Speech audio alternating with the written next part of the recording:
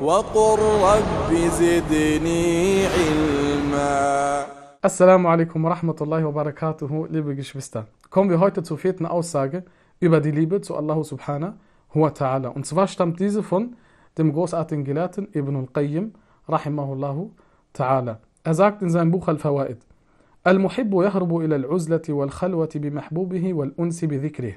Das heißt, der Liebende, derjenige, der Allah liebt, flüchtet zur Abgeschiedenheit und zur Zurückgezogenheit und zu einem ruhigen Ort, um seinen Geliebten zu erwähnen. Das heißt, um Allah subhanahu wa ta'ala zu erwähnen, weil er darin Erheiterung und Vertrautheit verspürt.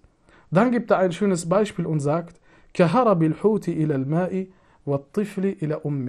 Er sagt, dieser Liebende flüchtet zu dieser Zurückgezogenheit, genauso wie der Fisch zurück ins Wasser flüchtet und, der, und das Kind zurück zur Mutter. Wir kennen alle oder wir haben alle das Bild vor uns, wie das Kind, wenn es sich erschreckt, zur Mutter flüchtet.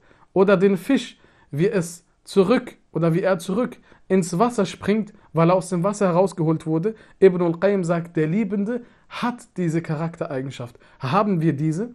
Damit ist einfach gemeint, haben wir diese Zeiten, in denen wir einen, einen ruhigen Ort suchen und die Abgeschiedenheit suchen, um Allah subhanahu wa ta'ala zu erwähnen, um sein Buch zu rezitieren, um mal intensiv das Bittgebet auszusprechen, haben wir diese Eigenschaft.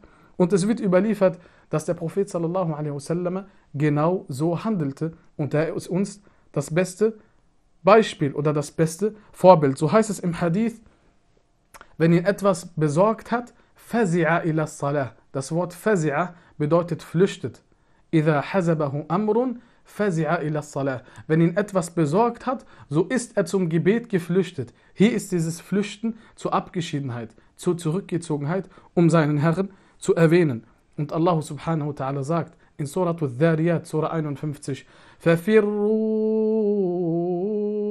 ila Allah.